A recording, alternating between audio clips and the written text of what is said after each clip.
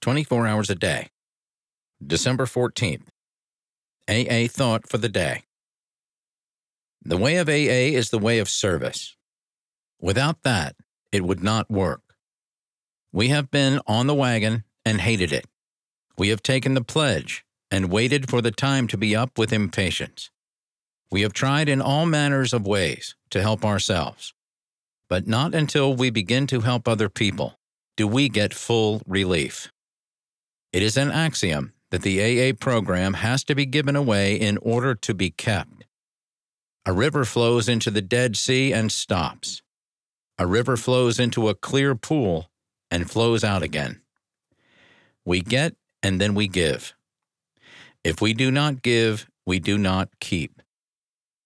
Have I given up all ideas of holding AA for myself alone? Meditation for the day. Try to see the life of the Spirit as a calm place, shut away from the turmoil of the world. Think of your spiritual home as a place full of peace, serenity, and contentment. Go to this quiet, meditative place for the strength to carry you through today's duties and problems.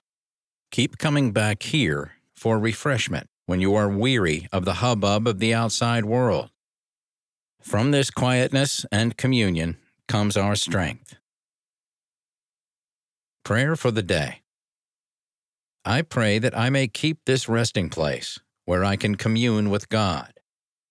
I pray that I may find refreshment in meditation on the eternal.